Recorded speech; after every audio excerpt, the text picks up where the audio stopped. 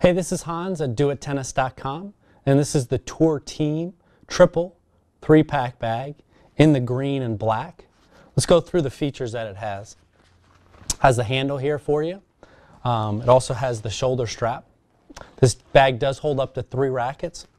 So it's got a main compartment here to hold up the three rackets, as you can see, as well as a, as a little netting right there for separate items if you want to use that. It also has one exterior zipper pocket for some small items, as well as uh, some separate compartments here for your cell phone and your wallet. It also has a nice little hook here so you can hang it up on the uh, fence so it doesn't get uh, dirty. So this is the Tour Team triple three Pack in the green and black.